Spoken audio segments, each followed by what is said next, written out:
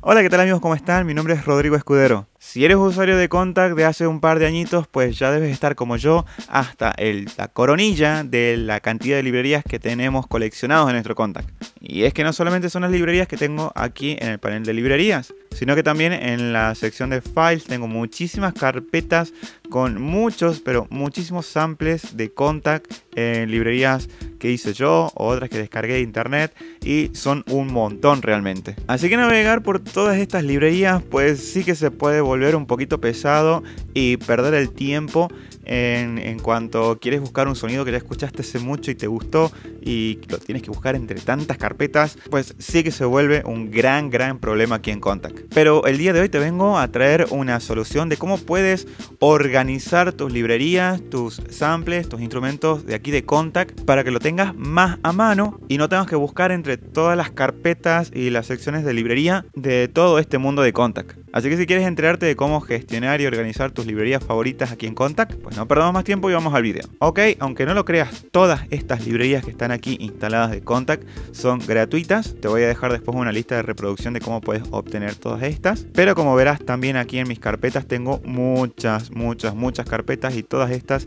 tienen instrumentos de Contact. Pues sí, si te tienes que poner a buscar una por una de estas carpetas el sonido que escuchaste hace tres meses y que le viene bien a la canción que estás produciendo en este momento o, a la, o al set light que estás armando para tocar en vivo, eh, pues sí que vas a tener una buena tarde buscando todos esos sonidos, ¿no? Por eso te voy a enseñar cómo puedes organizar todo esto y encima es una manera muy sencilla. Una de las partes que muy pocos conocen de Contact es el Quit Load. Aquí aparece dentro de las ventanitas el Quit Load y es este espacio que te permite reorganizar tus instrumentos, tus multi-instrumentos, incluso tus bancos de instrumentos de Contact para que los puedas ver o para que lo tengas aquí a mano. Es como seleccionar o dejar aquí seleccionado tus instrumentos favoritos, no importa de qué librería sean o de qué carpeta sean, tú los puedes dejar aquí para que siempre estén a mano. Ahora he borrado todas las carpetas que tenía o todas las categorías que tenía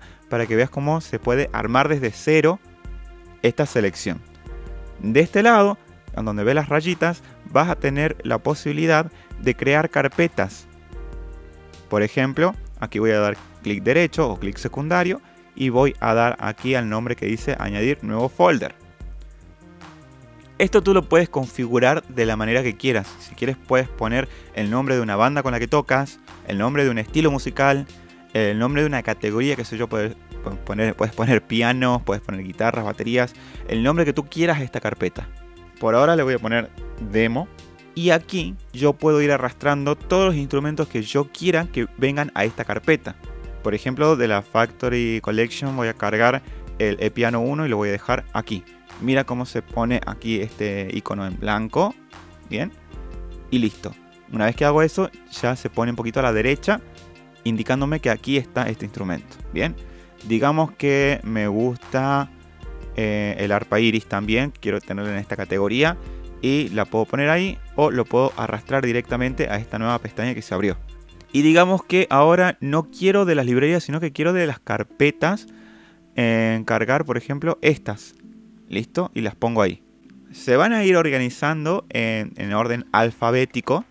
Entonces no importa en dónde estés, cada vez que quieras llamar a esta sección, pues directamente o llamas desde aquí, desde, la, desde el icono de las ventanas, o en algún espacio en negro de contact puedes hacer clic derecho y se va a cargar esta ventana. Entonces, si desde aquí quiero cargar el e-piano, que me gustó, simplemente lo arrastro y ya se carga.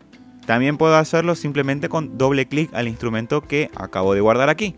Si quiero hacer otra colección diferente, por ejemplo, una colección que solamente voy a utilizar por una vez en concierto no sé dónde, o le pones el concierto con el artista que estás por tocar, pues puedes guardar aquí en todos los sonidos que vas a utilizar para ese concierto o esa presentación que estás por hacer. Vamos a cargar algo de aquí también. Y por ejemplo, otra vez algo desde los archivos. Un acordeón aquí y listo. Bien. Entonces ya tengo esta nueva colección y sigue funcionando de la misma manera. Dándole doble clic al instrumento, se carga. Aquí está. Y vas a mantener todo organizado.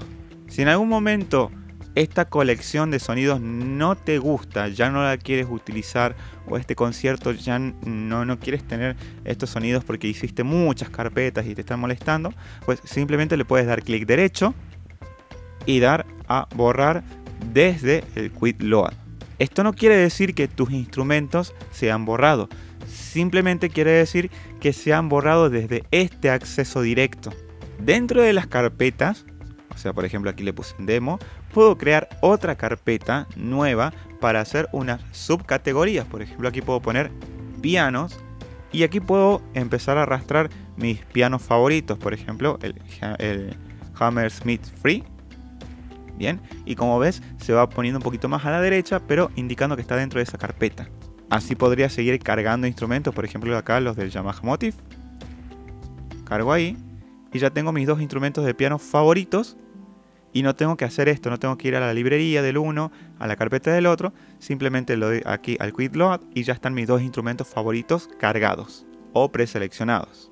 Puedo renombrar esta carpeta en cualquier momento, si quiero que ahora sea este, en, la carpeta de pianos, por ejemplo, qué sé yo. Pianos 2024, por ejemplo. Y aquí voy a utilizar o voy a dejar todos los pianos que estoy utilizando este año.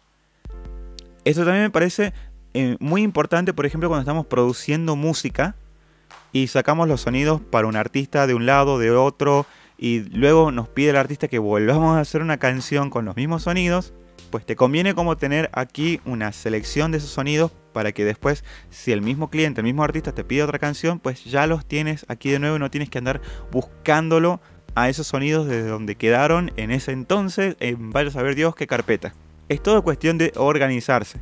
Y como te digo, aquí estamos buscando por instrumentos, pero puedes filtrar, por ejemplo, por instrumentos banco o por instrumentos multi. Ve que si cargo o si selecciono alguna de estas otras opciones, todas las carpetas y los instrumentos eh, NKI dejan de verse en la pantalla. Es porque ahora este Quick Load está buscando bancos de sonidos de Contact o multis de instrumentos de Contact.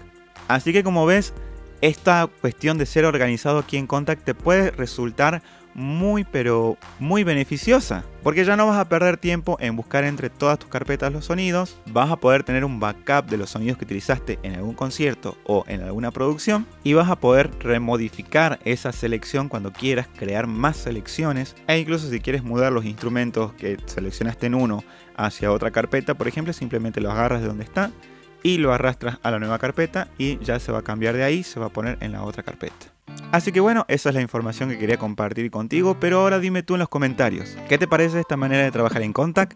¿Te resultaría útil esta herramienta que tiene para seleccionar tus instrumentos? ¿De qué manera tú organizas tus instrumentos aquí en Contact? Pues dime todo eso en los comentarios que me quiero enterar. Y como siempre, si te gustó el video, ya sabes, suscríbete, dale like, compártelo, porque todo eso me ayuda a mí a poder seguir estando aquí en YouTube. Visita mi página donde tengo muchísimos instrumentos para Contact. Sígueme en mis redes sociales para estar enterado de las novedades del mundo de la producción musical. Y si recién estás comenzando con todo esto, inscríbete en mis clases de producción musical. Y ya sin más nada que decir, espero que les haya gustado muchísimo este video. Mi nombre es Rodrigo Escudero y nos vemos la próxima. Chao, chao.